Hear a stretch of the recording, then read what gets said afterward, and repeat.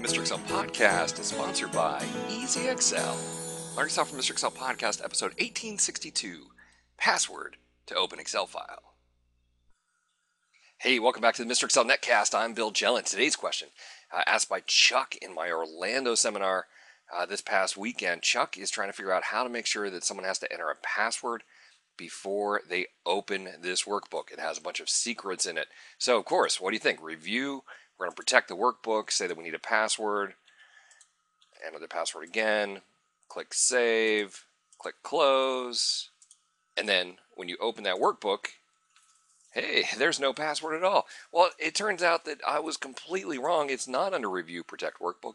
It's actually here. We have to go into File, Save As.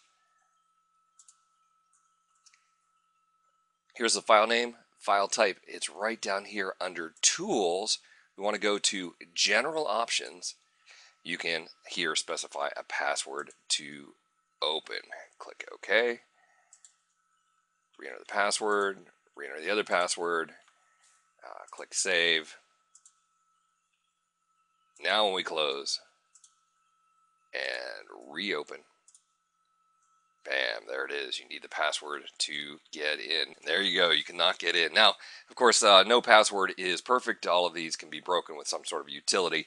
Uh, so don't put really top secret stuff in there. But if you just need to keep people out of your files, uh, that is a good way to go. Not anywhere on the Review Protect Workbook tab. It's hidden there in the File Save As dialog. Well, hey, I want to thank you for stopping by. We'll see you next time for another netcast. Mr. Excel.